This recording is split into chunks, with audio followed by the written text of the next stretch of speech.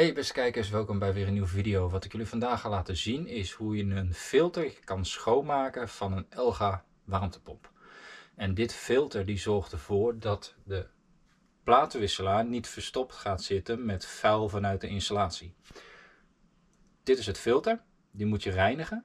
Maar dan moet je wel eerst de cv-installatie aftappen. Niet helemaal, maar alleen een klein beetje, dat er hier geen water uit komt. Emmer eronder, voor de zekerheid. En dan kan je deze losdraaien. En dan zit hier een zeef in. En die kan soms nog wel even verstopt gaan zitten. Ehm, en dan pompt je pomp niet genoeg water meer rond. Dus dat is wel heel belangrijk. En dan geeft hij hier bovenop geeft hij een storing. Dat er dus te weinig water rondgepompt wordt. En dan kan dit filtertje verstopt gaan zitten. Dus die kan je schoonmaken. Maar het beste is natuurlijk altijd gewoon professioneel filter plaatsen op de retour. Dus die zit op dezelfde leiding. Ja, dit is natuurlijk een filtertje ter bescherming van het apparaat. En dit is professioneel spul. Dus altijd deze plaatsen. Dus die kan je losdraaien.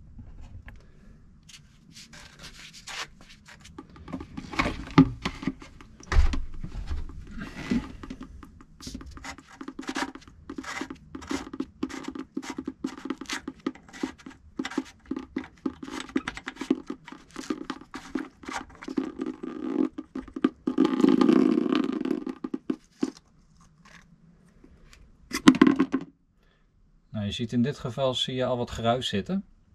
En op een gegeven moment als dit zeefje helemaal verstopt zit, dan stroomt er dus te weinig water doorheen en dan gaat de warmtepomp in storing. Dus dit is zeg maar de goedkope versie en deze, dit is de professionele versie. Nou, dan heb je de onderkant, daar doe je het zeefje in. En daarna plaats je het zeefje weer terug.